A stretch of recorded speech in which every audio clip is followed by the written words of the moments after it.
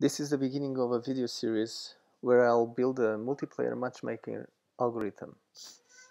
If you played competitive multiplayer games, you probably uh, question the quality of those matchmaker algorithms and maybe even blamed the developers for always putting you in the losing team. I hope to shed some light on these algorithms and help you implement one for yourself. For this tutorial, I'm gonna focus on building a one versus one um, matchmaker, very basic, and the idea is just to develop the platform where we're gonna analyze the algorithm we're, we're implementing. So I'm gonna use Python and Jupyter notebooks and uh, I'm gonna start by creating uh, my notebook using this uh, matchmaker kernel that I installed in a Python environment. So let's start by creating a player representation. So this player is going to be waiting to join a match and uh, we'll have two fields, a timestamp representing the time where he started uh, queuing and a player unique ID that will be just a random unique identifier. For the identifier, we're gonna use uh, UUID4 uh, with a hexadecimal representation. And for the timestamp, I'll just use Python datetime structure. So this is how a player entry would look like. Okay, so now we want to have a function that will produce random entries within a certain time interval. So we need to have import the random function from the module random. Our function will take start time and end time as uh, arguments and we're gonna create a random number of seconds that's within that interval. And then we also create a random player ID and we return that entry.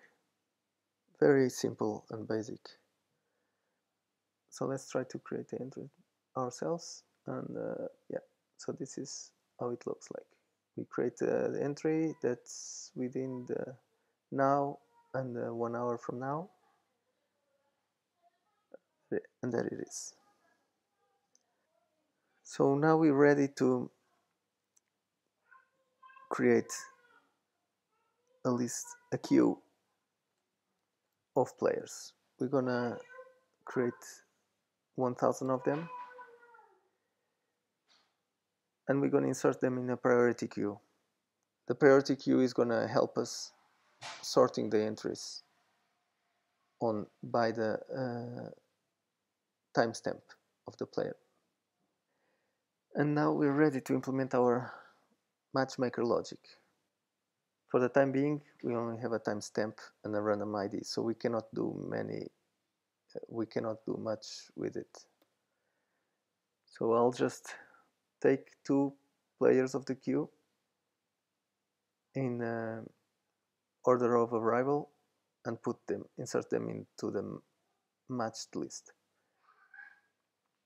I just check if there's at least two elements in the queue before I try to extract them. Otherwise, I'll exit. Okay, so now we should have uh, 1000 players queued and we can try to extract some statistics out of it. Let's say we want to measure how much time the players were waiting to play. Here what I do is just take the difference between the timestamp of the second player and the first player. This will give us an approximation of the time the first player had to wait until the second player joined. We can see the maximum value and it's 18 seconds the longest waiting time. All right so let's now make a more in-depth analysis. Let's try to plot a histogram of all the waiting times. I'm going to use matplotlib so you need to install matplotlib in your environment you can do that by just running pip install matplotlib. Just remember to be inside of your virtual env when you do it. And let's see what the histogram tells us. Alright we can see here that